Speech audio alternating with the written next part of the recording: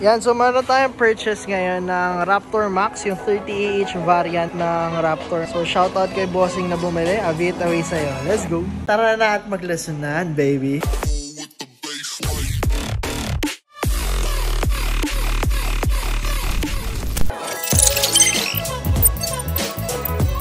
Guys, grabe yung init ngayon. Ramdam na ramdam natin yung summer. So, may bumili kanina ng Raptor Max.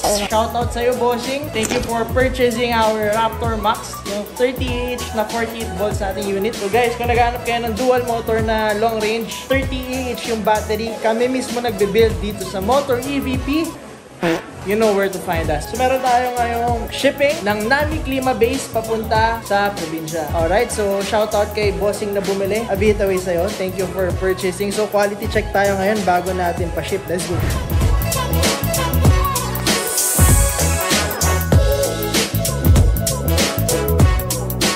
Ayan guys, so shoutout sa ating after sales team. Makikita nyo, lahat ay very hardworking, no?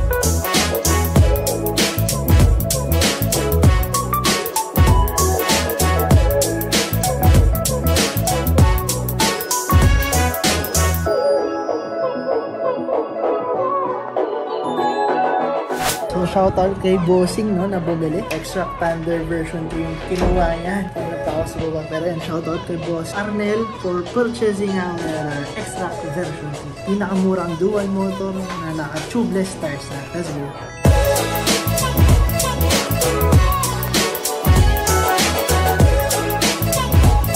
Mga bossing, so ang Nami Klima natin, isa na lang yung stock on hand natin na base model. Kung gusto nyo makuha, once this video is uploaded, hataw lang ang hataw kung naghanap kayo ng pinakamurang electric scooter na subok ang after sales and quality ng electric scooters, Motor EVP ang para sa inyo. Shush!